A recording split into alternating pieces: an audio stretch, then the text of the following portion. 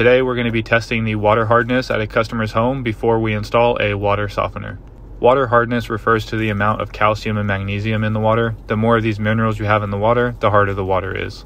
There are a couple of different methods to test for water hardness. Today I'm going to be using titration. To start off with, we put a set amount of water into the vial here and then put 7 drops of this first solution. This turns the water a pink color, indicating that the water is hard. When you put this solution in the water, if it turns blue, that means the water is soft. For the next step, we take this second solution and start putting drops into that vial.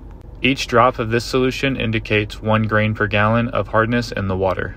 We use grains per gallon for measuring water hardness here. You can also use parts per million. To get from grains per gallon to parts per million, you simply multiply by 17.1. Once the water turns from pink to blue like you see here, you know when to stop. Whatever number that last drop was is your grains per gallon on hardness. This